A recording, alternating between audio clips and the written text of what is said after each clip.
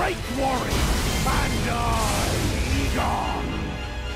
Your fears made flesh.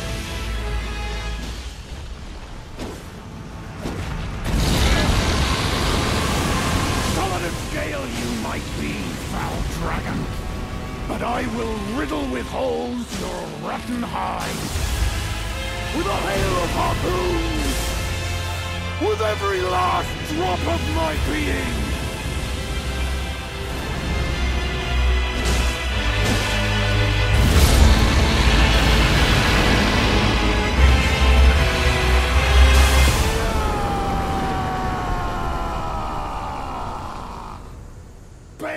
The Dread!